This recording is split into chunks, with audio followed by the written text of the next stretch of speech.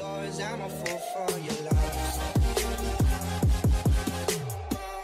What is up guys, how are we all doing? In this episode I'll be showing you how you can equip and unequip a weapon. I'll be explaining the actual steps you need to take, so don't worry if you've got a different weapon to me. Whether you've got a gun, sword or frying pan, this tutorial will work for you.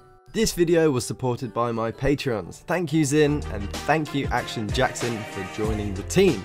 If you'd like to support me creating content or would like early access to my videos where I can answer any of your questions before the official video release, please check out my Patreon. I'll leave a link in the description.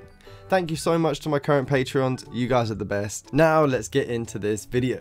Before starting this episode, you will need to have watched my merging animations tutorial and my pickup weapon tutorial. From those videos, you will get a reference to your weapon in your character blueprint, a socket on your skeleton, and an animation blueprint which looks like this. The videos are super fast, so you'll get through them in no time. But if you don't want to do that, I've got a download to my project in the description. If you download the project, I'd still suggest watching the videos so you know what's going on. Just throw them on 2 times speed and get it done. You will also need a draw weapon animation. I'll really quickly explain how I produced mine if you want to create one yourself. First, open up your 3D modeling software, I'm using Blender, and get your character mesh. Import your weapon onto your mesh, then position your weapon into a similar position as your socket is in Unreal. Then just create the animation. I'll leave a comment under this video explaining things in more detail, but I don't really want to spend any time on that in this video. So check the comment section if you want to learn more. So once you've imported your draw weapon animation, we're ready to start. We're going to begin by duplicating the animation and calling this new one Sheath Weapon. Then double click to open it up and set the playback speed to minus 1. This animation will now play in reverse then we're going to duplicate our draw weapon animation again and call this weapon hold. Double click to open it up and we're going to right click at the end of the animation and remove all frames before the last one. This will be used as a hand animation to get our character to hold the weapon in the right direction. Now we're going to right click our draw sword and sheath sword animation and create an anim montage for both. As you now know, this has given them a slot that we can use in the anim BP. Now, open up your third person character BP.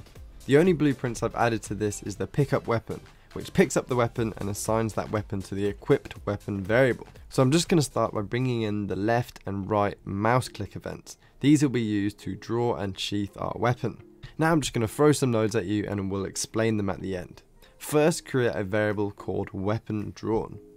Bring in the variable with control plus drag, B and click to bring in a branch and then connect that up.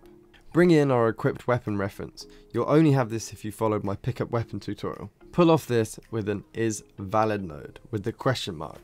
From the branch, connect the false into this. Bring in a do once node, bring in a play anim montage node and select your draw weapon animation. Then bring in a delay and connect the float from the anim montage to the delay timer. Then loop this back into the do once reset. You can double click the path to add a reroute node. Now select everything and press Ctrl W to duplicate. Connect this group to the right click mouse event and delete the branch connection to the valid with alt clicking the path, then connect the branch true to the is valid. Now change the anim montage to your sheath weapon. So what is all this doing? First we're checking if the weapon is drawn, so we don't play the draw weapon animation twice. Then we're checking if the equip weapon variable is valid, because we don't want to try and draw a weapon if we don't even have one on our back, right?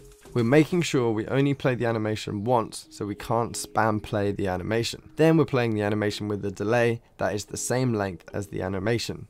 When the animation is finished, we're resetting the do once so we can play the animation again. The exact same thing is happening for the right click, except it's the sheath weapon animation. And the branch for the weapon drawn is coming off the true instead of the false. Now we're going to create two custom events one called draw sword and one called sheath sword. Control drag in our mesh and bring in the attach actor to component node. Control drag in our equipped weapon as the target. Select both these nodes and control W to duplicate them. For the draw sword socket name, we're going to type in our hand bone, which is hand underscore R. For the sheath sword, we're going to use the socket on our back, created in the weapon pickup tutorial, called weapon underscore back. Your names may be different, which is fine, just make sure the spelling is correct, otherwise it won't work. alt drag in our weapon drawn variable and set it to true for draw sword and false for sheath sword. I almost forgot, set the location, rotation and scale rule of the attach actor to keep world. So now, our character BP consists of playing the two animations with left and right click and two custom events, which attaches the weapon to either the hand or the back. Now we want to trigger these attach weapon events during the weapon draw and sheath animations. This can be done using something called an anim notify. So open up your draw sword animation. At the frame you want to attach the sword to the character, right click and add notify. Call this notify draw weapon. Now open up your sheath sword animation. At the point you want to attach the weapon onto the back again, create a notify and call this sheath weapon. Now open up your animation blueprint. Under event graph, bring in a cast to your character node. Mine's going to be cast to third person character. Convert this to a pure cast and connect the pawn owner to it. As the owner of this animation blueprint is our character, we can use this as a reference. Pull off our character and bring in the two events we made, which attaches our weapon to our character. Draw weapon and sheath weapon. Now bring in our two anim notifiers by right clicking and calling them by name draw weapon, and sheath weapon. So these anim notify events will play when our animation has reached the frame that we set them on. So we can attach these to our draw weapon and sheath weapon sword events in our character BP. So now when the animation triggers the anim notify, we will attach the sword to our character and the same for the detaching. And that is everything to simply draw our weapon. But now we have to tidy up a couple of things. First is that our entire top body is playing for the draw weapon animation. We only want the arm animation to play. The second is that our weapon is being pointed into the ground. Doesn't look very cool, so let's fix these things. The first thing we're going to do is change our slot for our right hand. So open up the draw sword montage. In the bottom right, under anim slot manager, add slot and call this right hand. Then under slot, select the right hand slot we just made. Then for the sheath sword anim montage, we're also going to change the slot to right arm. Now, open up your animation blueprint.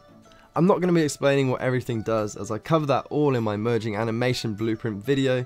It's pretty complex but in that video I feel like I do a good job of explaining it. So if you don't understand anything, be sure to watch that tutorial. It's really quick and you'll be way better off afterwards. So first we're going to bring in our upper body cache and control W our default slot. In the settings, change this slot to our right arm slot we just made. Then create a new cache call it right arm. So we're taking the upper body animations, adding any right arm slot animations onto it and setting this to the right arm cache. Now we're going to blend this onto the animation result from merging the lower body and upper body animations. So bring in the right arm cache and bring in a layered blend per bone node. Connect the lower and upper body anim result to the base pose and the right arm cache to the blend pose.